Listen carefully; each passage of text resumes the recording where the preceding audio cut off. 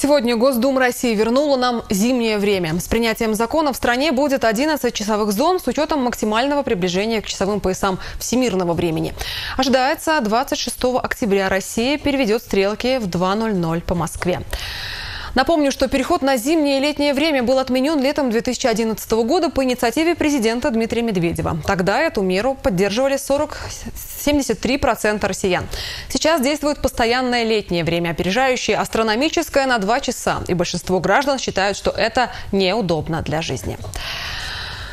С 1 июля в силу вступает также закон о запрете использования крепкого словца в кино и на сцене. Наша съемочная группа вышла на улицы города, чтобы узнать мнение жителей о запрете нецензурной лексики. Как известно, культурный человек тот, кто назовет кошку кошкой, даже если споткнулся об нее. Таких людей сейчас можно пересчитать по пальцам, ведь в наше время мат как Рафаэла вместо тысячи слов.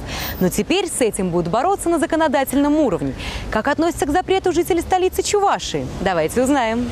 Очень хорошо относимся. Положительно относимся. Аргументируйте. Потому что везде слышны такие матные слова, прям за свою страну, ну, как-то обидно. Мы считаем то, что можно обойтись без мата, без э, такой Существуют лексики. да. другие красивые слова. Плохо. Почему? Как, как это жить? Что смотреть Замечательно. И только так. И только так. Так же, как и курево, так же, как и мат, все остальное. Кино – это все-таки искусство, и выражение определенных эмоций иногда требует, конечно, экспрессивных выражений. Быту обойтись, я думаю, без экспрессивных выражений все-таки невозможно. Это же реальная жизнь. По пальцу гвоздем и молотком стукнешь, хочешь не хочешь, вырывается. А актерам, вы имеете в виду шнура типа того же? Да, например. Ну, последнюю песню его, ну, слов не осталось, кроме «Будет штрафы платить», как он сам сказал. Скажу коротко. Пол Чебоксара надо расстрелять за мат.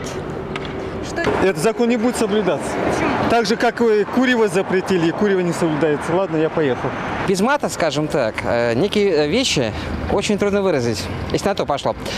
А что касаемо, предположим, всего то, что как им пользуются люди, это отрицательно. А, Но иногда, когда реально гвоздь не- неправильно вобьешь, либо жена изменила, есть такие слова, которые, они просто чисто русские. Нормальные, хорошие режиссеры, они без мата, не, вот даже последний фильм, который получил на Канском фестивале, там половина ненормативная лексика. Вот я смотрел, реально, там э, наши ведущие актеры, они хорошо матерятся.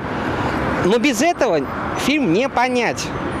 Ну, было бы хорошо, потому что некоторые фильмы могут спокойно посмотреть дети, которые еще маленькие для этого.